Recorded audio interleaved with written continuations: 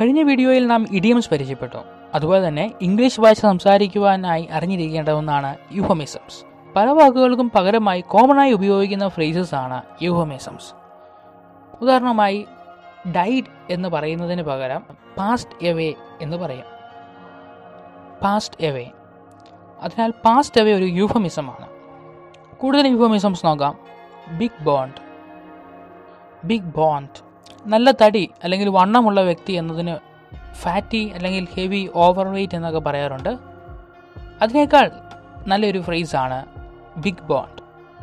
അടുത്ത് നോക്കാം rest room use rest room bathroom എന്ന വാക്കിന് പകരം ഉപയോഗിക്കുവാൻ പറ്റിയ നല്ലൊരു വാക്കാണ് റെസ്റ്റ് റൂം എവിടെ പോയിരുന്നു എന്ന് ആരെങ്കിലും ചോദിച്ചു കഴിഞ്ഞാൽ ഇങ്ങനെ പറയാം I was using the rest room I was using the rest room അടുത്തത് economical with truth economical with the truth അവൻ നുണയനാണ് എന്ന് പറയുവാനായി. ഹീസ് എ ലയർ എന്ന് പറയുന്നതിന് പകരം ഭംഗിയായി ഇങ്ങനെ പറയാം. He's economical with the truth ഒരു ഫലിത രൂപേണയും ഇങ്ങനെ പറയാം. He's economical with the truth അവന് സത്യം വല്ലപ്പോഴേ പറയാറുള്ളൂ. Is economical with the truth അടുത്തത് ബിറ്റ്വീൻ ജോബ്സ് ഇപ്പോൾ കൂടുതൽ യുവാക്കൾക്കും പ്രശ്നമായൊരു ചോദ്യമാണ് ജോലി വല്ലതുമായോ എന്ന്. അപ്പോൾ ആരെങ്കിലും ജോലി വല്ലതുമായോ എന്ന് ചോദിച്ചു കഴിഞ്ഞാൽ ജോലി ആയില്ല എന്ന് പറയുവാനായി ബുദ്ധിമുട്ടുണ്ടോ? ഇങ്ങനെ പറഞ്ഞാൽ മതി. ഐ ആം ബിറ്റ്വീൻ ജോബ്സ് അതിന്റെ അർത്ഥം ഇപ്പോൾ ജോലിയൊന്നുമില്ല. അൺഎംപ്ലോയിഡ് ആണ്.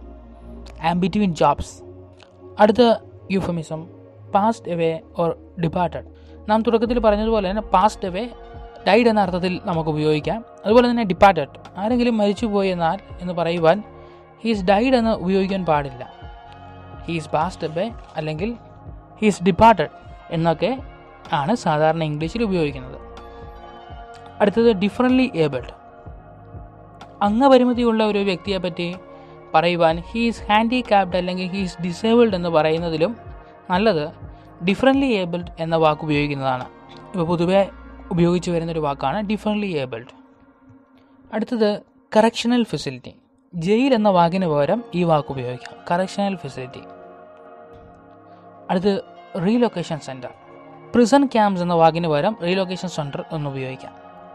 അടുത്ത് ആക്സിഡന്റൽ ഡെത്ത് എന്ന വാക്കിന് പകരം കലക്ടറൽ ഡാമേജ് എന്ന ഫ്രേസ് ഉപയോഗിക്കാം. കലക്ടറൽ ഡാമേജ് പിന്നെ ഹോംലെസ് സ്വന്തമായി വീടില്ല അല്ലെങ്കിൽ കിടപ്പാടമില്ലാത്ത ഒരു വ്യക്തിയെക്കുറിച്ച് ഓൺ ദ സ്ട്രീറ്റ്സ് എന്ന് പറയാം.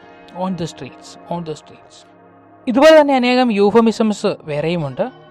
കൂടുതൽ ഫ്രേസസ് പരിചയപ്പെടുവാൻ ശ്രമിക്കുക. ഗൂഗിളൊക്കെ ചെയ്തു കഴിഞ്ഞാൽ കൂടുതൽ ഫ്രേസസ് നിങ്ങൾക്ക് കണ്ടെത്തുവാൻ സാധിക്കും. ഇംഗ്ലീഷ് നല്ല രീതിയിൽ സംസാരിക്കുവാനും മറ്റുള്ളവർ പറയുന്നത് മനസ്സിലാക്കുവാനും ഇവ നാം അറിഞ്ഞിരിക്കണം. നാം പലപ്പോഴും പറയാറുണ്ട് അമേരിക്കൻസ് യൂറോപ്യൻസ് ഒക്കെ ഇംഗ്ലീഷ് സംസാരിക്കുമ്പോൾ മനസ്സിലാകാത്ത പ്രൊണൗൺസിയേഷൻ കൊണ്ടാണ് എന്ന്.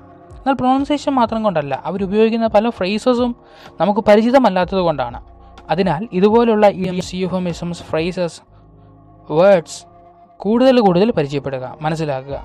ഒരു ദിവസം കൊണ്ട് നമുക്കത് പഠിച്ചെടുക്കുവാൻ സാധിക്കില്ലല്ലോ. സാവധാന സാവധാനം നിരന്തരമായ പരിശ്രമത്തിലൂടെ. അവ പരിചയപ്പെടുകയും ഇംഗ്ലീഷ് ഭാഷ അനായാസം സംസാരിക്കുവാൻ നമുക്ക് പ്രാപ്തനാകുകയും ചെയ്യാം. ഇംഗ്ലീഷ് ലാംഗ്വേജ് ലേണിംഗ് സീരീസിന്റെ തുടക്കം മുതലുള്ള ക്ലാസ്സുകൾ കേൾക്കുവാനായി ഡിസ്ക്രിപ്ഷനിൽ നൽകിയിരിക്കുന്ന ലിങ്ക് ഉപയോഗിക്കുക. അടുത്ത വീഡിയോയിലൂടെ അവസരോചിതമായി ഉപയോഗിക്കുവാൻ കഴിയുന്ന കൂടുതൽ വാക്കുകൾ നമുക്ക് പരിചയപ്പെടാം. So stay tune to get the regular updates please subscribe to this channel and enable the bell icon. Also, share the video link to your friends, those who are interested in English learning, those who wish to go abroad, and those who wish clear IELTS and OET. Thank you.